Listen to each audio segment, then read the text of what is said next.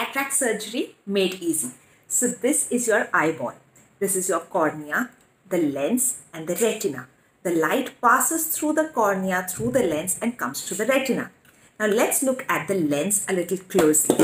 You can see that the lens is completely clear and this allows the light to pass through. In cataract, the watery fluid inside becomes milky or it becomes white or it may also become brownish.